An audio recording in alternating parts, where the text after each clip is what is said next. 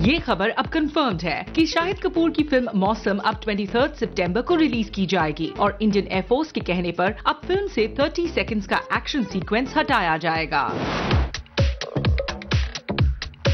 अजय देवगन और Sanjay Dutt director David Dhawan के साथ नज़र आए इनकी फ़िल्म रास्कल्स के म्यूज़िक लॉन्च पर। यहाँ इन्होंने मीडिया से इंटरेक्ट किया और अपना एक्सपीरियंस शेयर किया। लेकिन इस इवेंट में फ़िल्म की लीड एक्ट्रेस कंगना रनौत नज़र नहीं आई।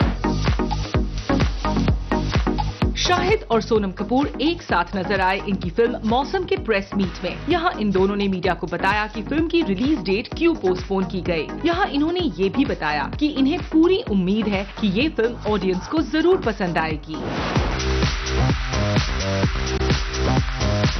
सोहा अली खान को रिसेंटली एक मसाला ब्रांड ने अपना एम्बेसडर बना लिया है और इसकी अनाउंसमेंट के लिए एक प्रेस कॉन्फ्रेंस रखी गई। यहाँ सोहा ने बताया, इस प्रोडक्ट को एंडोर्स करके वो बहुत खुश है